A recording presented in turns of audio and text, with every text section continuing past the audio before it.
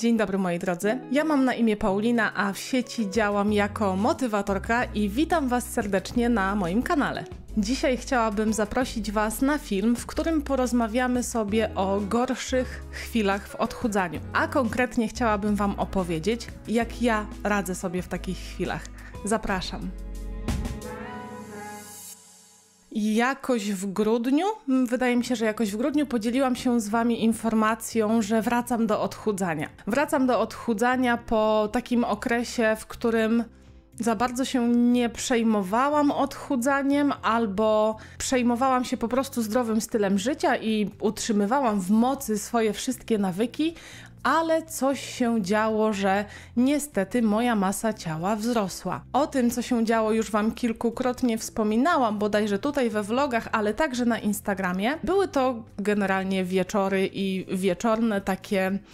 Mm, przyjemności. Oglądanie serialu, jakiś popcorn, coś takiego. No ale postanowiłam zebrać się w sobie, zebrać swoje siły i wrócić do odchudzania. Gdzieś tam po drodze udało się nawet coś zrzucić. W trakcie chyba vlogmasu mówiłam wam o kilogramie w dół. Potem doszło jakieś 300-400 gramów, potem jakieś 600 gramów. Teraz aktualnie nie wiem, bo dawno się nie ważyłam. To przede mną za kilka dni e, stanę na wadze. No ale dzieje się. Gdzieś tam waga sobie powoli spada. Jest to spadek raczej, gdybyśmy tak mieli przyjąć, to raczej kilogram na 2-3 tygodnie. Zawsze coś. Ja jestem z czegoś takiego zadowolona. Niemniej, jak każdą osobę odchudzającą się, dopadają mnie złe chwile. I o tym będzie dzisiejszy odcinek. O takich gorszych momentach, o gorszych dniach, no, które są w odchudzaniu nieuniknione. Zacznijmy od tego, kiedy mnie to w ogóle napada. Słuchajcie, ja mam, nie wiem jak to powiedzieć, takie wysokie poczucie kontroli.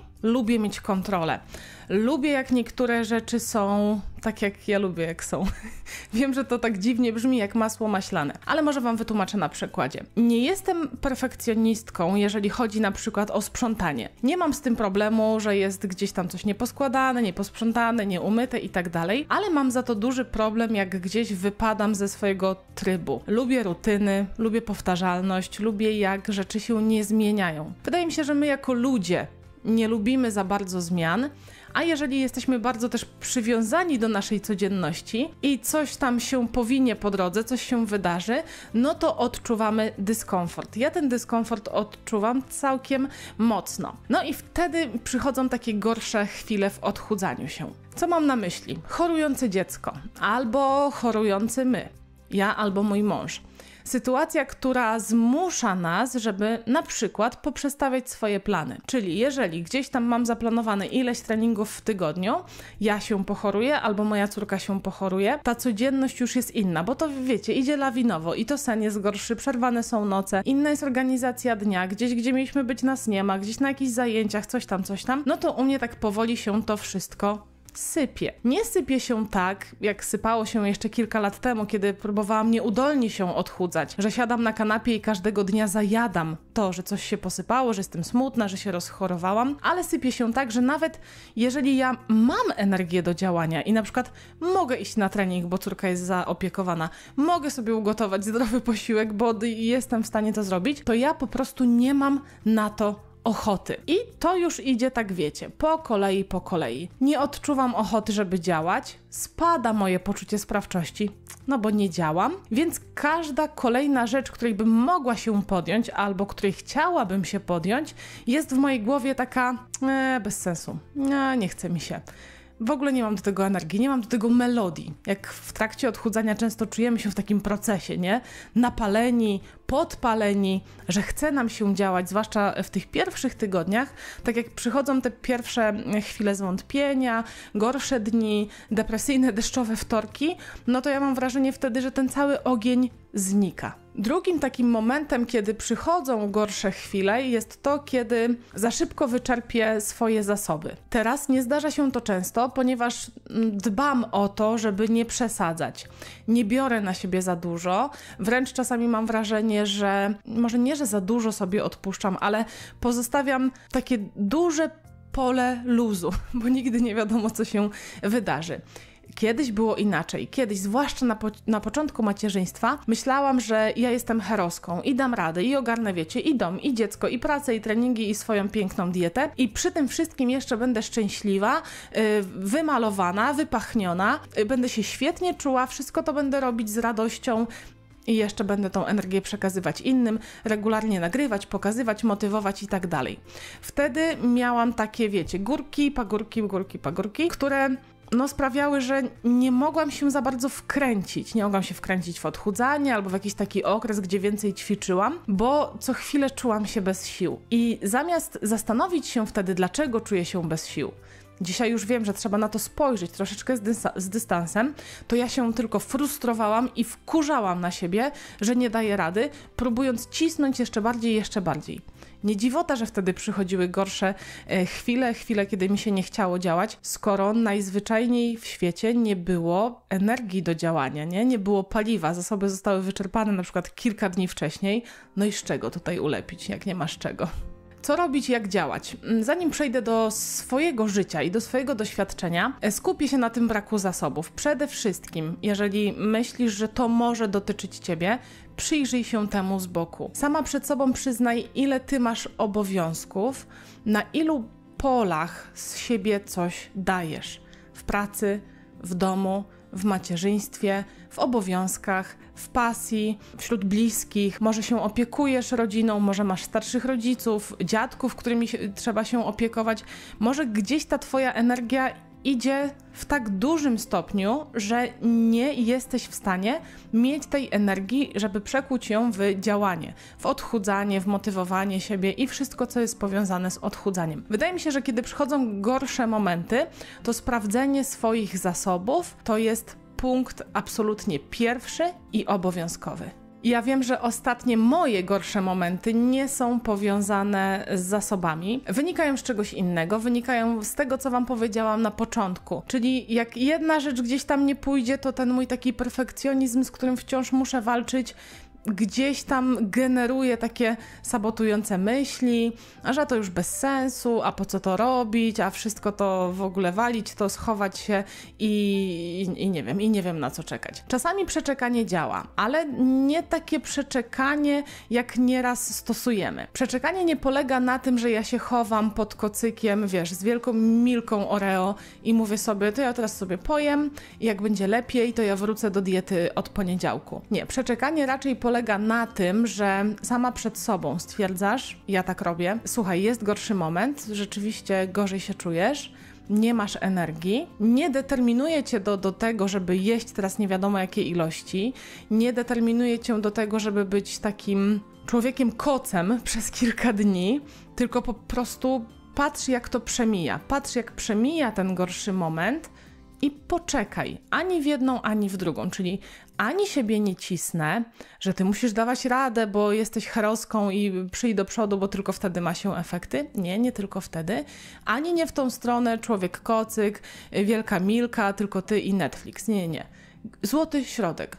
Złoty środek i patrzenie po prostu, jak ten gorszy moment przemija.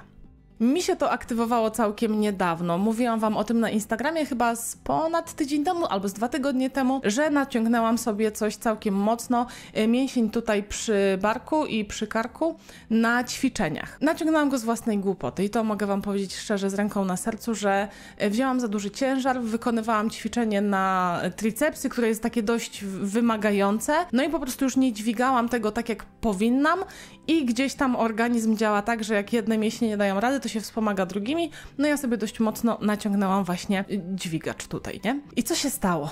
Unieruchomiło mnie to na dobrych kilka dni. W ogóle pierwszy dzień to był tragiczny. Pierwsze 24 godziny były takie, że ja oczywiście nie mogłam ruszać szyją, absolutnie głową góra-dół, ale ja nie mogłam się położyć bez bólu, czyli nawet nie mogłam liczyć na jakąś regenerację, bo tak mnie napierdzielało to miejsce. E, zapisałam się szybko do fizjoterapeuty, po dwóch dniach miałam tam rozpracowanie tego. Okazało się, że no mięsień był po prostu jak kamień przeciągnięty na maksa. No ale co? Nagle upadła jedna rzecz, nie? W tym moim takim, no, może nie, że idealnym, ale w takiej mojej ruty rutynie, w takim tygodniu, gdzie są takie ćwiczenia, takie i sobie świetnie Paula radzi. Upadła ta rzecz, ja się czułam źle, bo ból mi doskwierał, w ogóle swoją drogą nie działały na to przeciwbóle, e, nie działały na to zimne prysznice, gorące prysznice, nic, nic na to nie zadziałało, tylko fizjoterapia i tam porządne rozpracowanie tego. No ale się zaczęło. Skoro ja nic nie mogę teraz zrobić, no to ja już automatycznie czuję się z tym źle. Nie pójdę na trening, nawet jakiegoś, wiecie, rozciągania nie zrobię. O basenie tak samo mogłam zapomnieć, bo no każdy ruch był bolesny i poszła lawina. Nie czułam się z tym dobrze,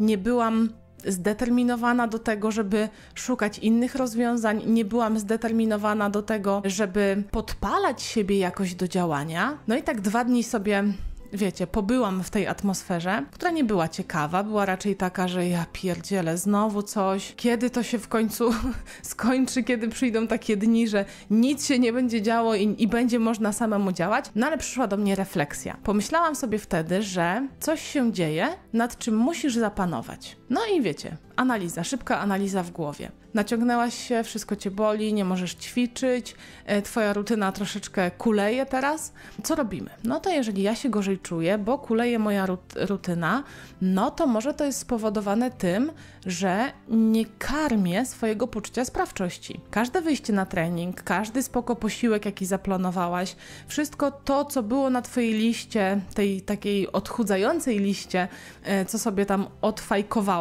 po drodze, no to to są rzeczy, które ładują twoje poczucie sprawczości. Moje nie było karmione. Wpadłam na to, że muszę znaleźć sposób, żeby nakarmić je, żeby dołożyć sobie do tego piecyka, co by ten ogień nie zgasł.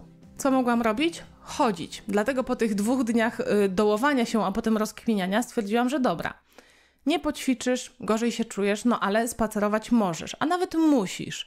W domu coś trzeba zrobić, z dzieckiem trzeba gdzieś iść, wiadomo. Postawiłam na kroki. Za cel sobie e, postawiłam robienie minimum 10 tysięcy kroków dziennie. Udało się to w miarę spełniać i ja od razu zauważyłam, że podnosi się gdzieś tam to samopoczucie, ale nie, że ja wiecie, zrobiłam 10 tysięcy kroków i ja, ale jestem świetna, teraz już w ogóle cudownie się czuję. Nie, aż tak nie. Niemniej było lepiej. Czyli z tego takiego, wiecie, może nie bagna, ale z takiego poczucia, że tak się taplamy w tym, oje, co ja teraz zrobię, wszystko jest nie tak, zaczęłam się czuć, że no dobra, jest lepiej, co mogę zrobić więcej? Co można zrobić więcej? Zastanów się teraz nad tym, jakie kolejne małe rzeczy mogą Tobie pokazać, że Ty masz kontrolę, że Ty trzymasz to odchudzanie. Okej, okay, trzymasz je teraz lżej, bo coś się wydarzyło. Trzymasz je troszeczkę inaczej i nie tak, wiesz, za wszelką cenę i nie płonie wszystko z tej motywacji, ale trzymasz. Co może się wpisać na taką listę? Posiłki. Posiłki zaplanowane, takie, że sobie sama przed sobą znowu powiesz, a na śniadanie zjem owsiankę. Zrobisz tą owsiankę. Odfajkowane. A na drugie śniadanie to zrobię sobie białkowy koktajl zaplanowałaś, zrobiłaś odfajkowane znowu.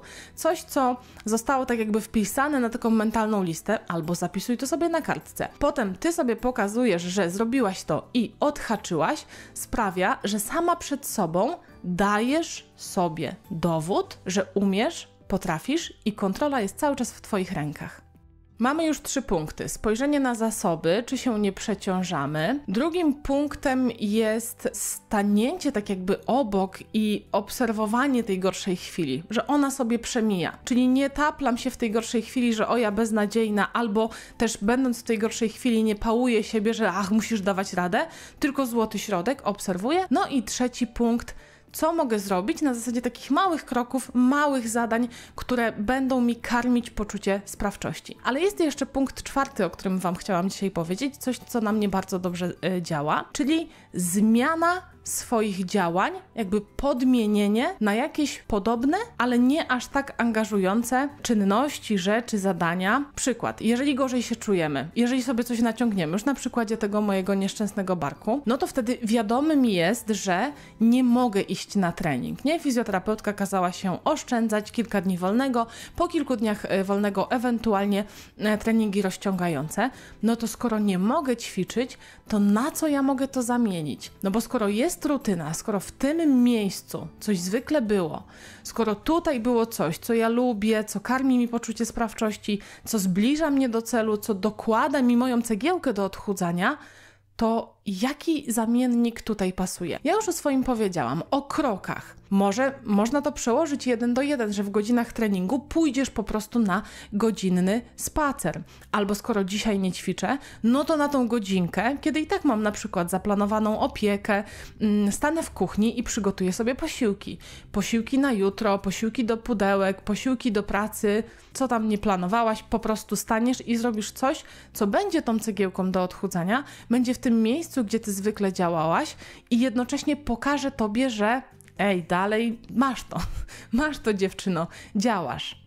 Te zamienniki też dobrze działają w żywieniu, w takim dietetycznym żywieniu. Czasami jest tak, że się za mocno zafiksujemy na diecie i uważamy, że skoro tutaj miałam zjeść, wymyślam teraz, ryż z kurczakiem, a do pracy zamówili chińszczyznę i ja sobie wzięłam tam, nie wiem, smażony makaron, no to teraz całe to moje odchudzanie idzie, wiecie, gdzie do kosza, no bo nie zjadłam tego, co miałam zaplanowane. Tutaj też zamiennik świetnie zadziała. Nie ma nic w tym złego, że ty obiad, kolację, śniadanie czasami podmienisz. To dalej sprawia, że się odchudzasz.